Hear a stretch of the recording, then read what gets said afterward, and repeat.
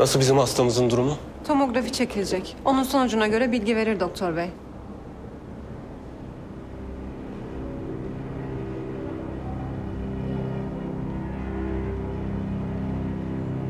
Bir şey soracağım ya.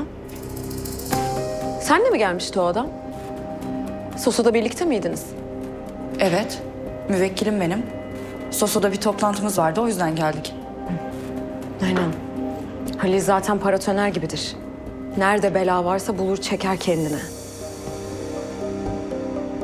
Pardon bela derken ben tam olarak anlayamadım. Senin yanındaki adamdan bahsediyorum. Hani Tufan'la birlikte geldiniz ya. O adam da öyle bir adam belli ki. Bunu da bilip bilmeden konuşma be kızım. Sen benim şu anda ne kadar üzüldüğümü biliyor musun? Anlıyorum erkek arkadaşın için üzülüyorsun ama beni bu şekilde zan altında bırakamazsın. Anladın mı?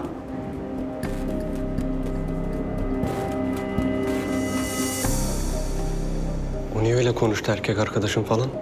Ne bileyim ya. Halil'le bizi görünce öyle zannetti herhalde.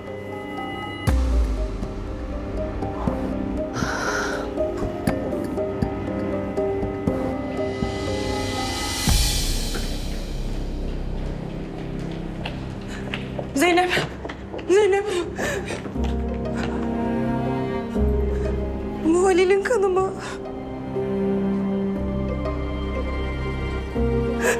Nasıl durumu şimdi? iyi mi? Nasıl Halil? Henüz bir şey bilmiyoruz. Nasıl yani daha hiçbir şey belli değil mi? Tetkiklerden sonra belli olacakmış sonuç. Bir kurşun köprücük kemiğine yakın bir yerdeymiş. Yarası ciddi sanırım. Yani biz de böyle bekliyoruz şu an. Allah'ım ne olur bir şey olmasın Halil'ime ben dayanamam. Merak etme bir şey olmayacak tamam mı?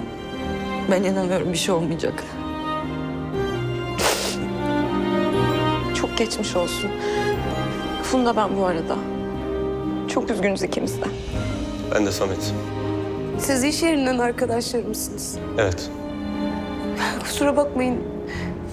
Pek işten bahsetmezdi Halil, bilemedim. Ama sağ olun, getirmişsiniz buraya kadar.